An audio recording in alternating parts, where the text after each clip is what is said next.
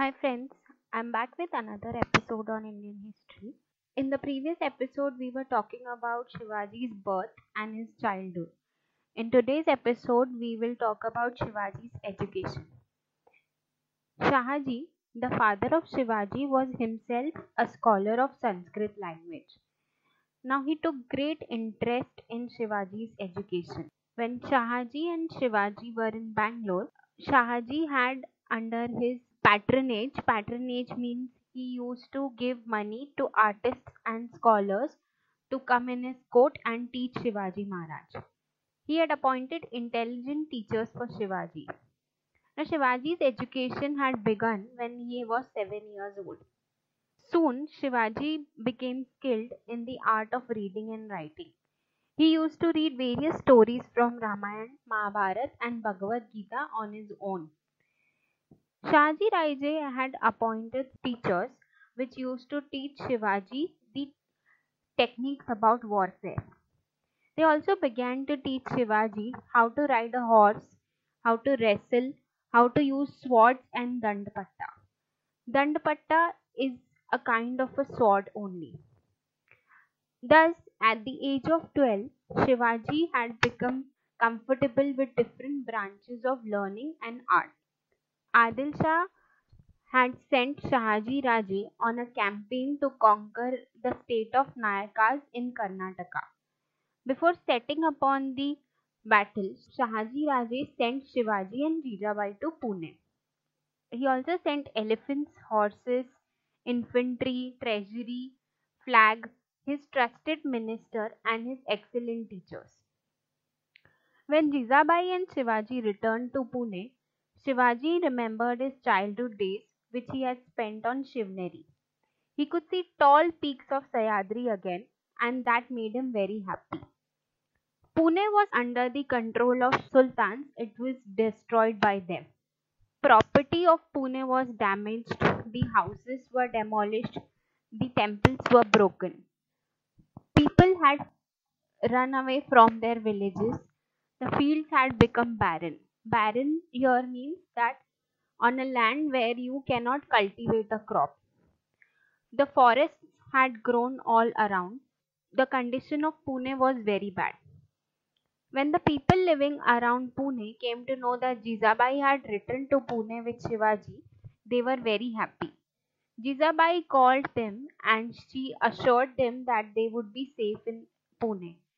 Due to her assurance, people started settling in Pune again. They started cultivating the lands. The temples which were broken due to the fights amongst the sultans, Jijabai had those temples repaired as well.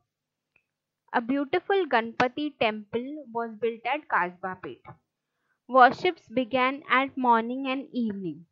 When Jijabai and Shivaji were in Karnataka, Dadoji Kondev used to look after Jagir of Pune. He was the Subedar of Konna fort as well. Dadaji Kondev was very faithful, strict, efficient, and honest in his work. He was also a just ruler and a strict disciplinarian. He used to serve Shahaji Raje with great devotion.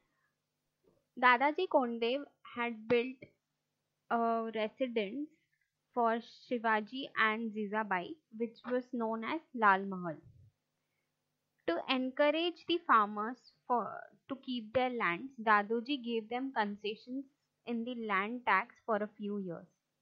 He used to offer prices to the people for destroying the wolves who used to destroy the crops and harass the farmers. He raised farmers to protect their life and property from the gang of thieves who used to roam countryside. Dadaji Kondev used to fix the land revenue. Land revenue means the value of that land based on the quality of the soil of that land. People were very happy with Dadaji Kondev's rule.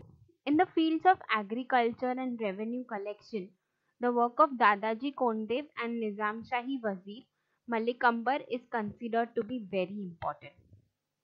When Shivaji Raje had returned to Pune, his education continued under the supervision of Jijabai.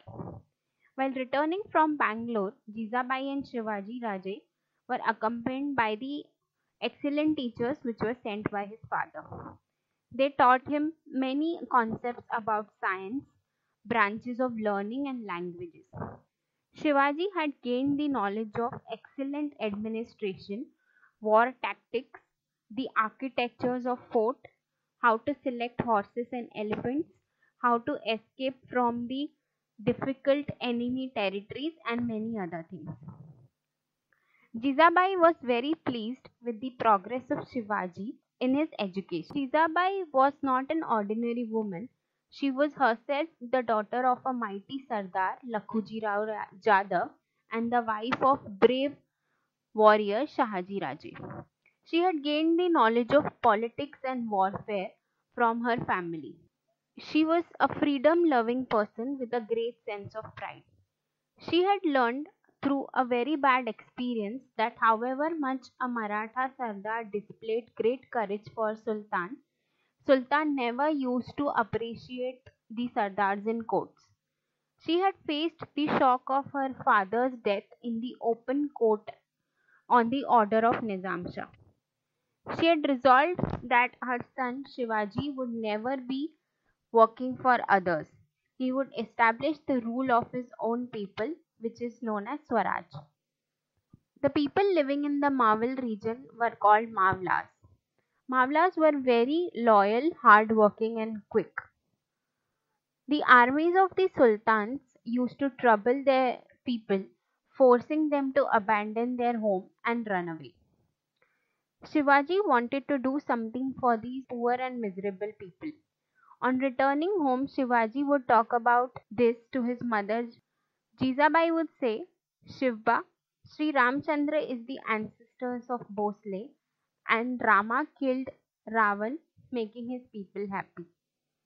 Sri Krishna is the ancestor of Jadavs and he killed Kans and brought relief to, the, to his people. You are a descendant of both Sri Rama and Krishna.